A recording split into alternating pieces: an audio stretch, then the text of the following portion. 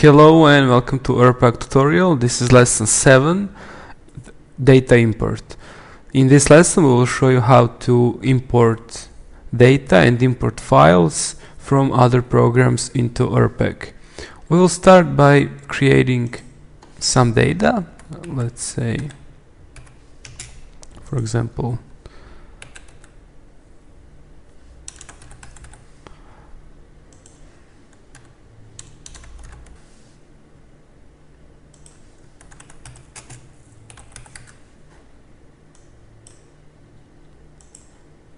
you can adjust this table as you want. Now let's enter other data.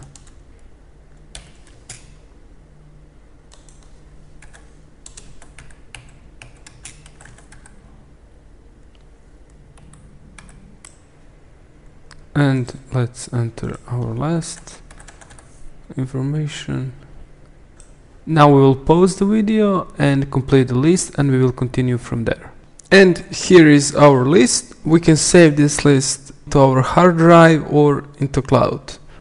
And now we will show you how to import files from your computer. Go to code lists, go to product and services and you will, you will see import data here. So click and of course you can make you can create backup. So we recommend creating backup. And let's say that our new backup name is before before import number one. And let's save it.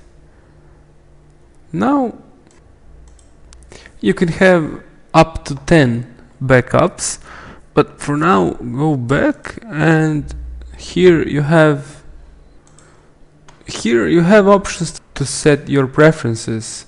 You can choose which type of products or data you are importing. You can choose VAT rate category and other default options. Then click on choose file and import your list after that, define your columns. Choose SKU here, this description here, unit of measurement, price, product category, VAT, and the last column is for trademark. And you can import up to 10,000 items, but when you open your list in ERPAG, you will see you will see first 100 you will import this this list by clicking on OK.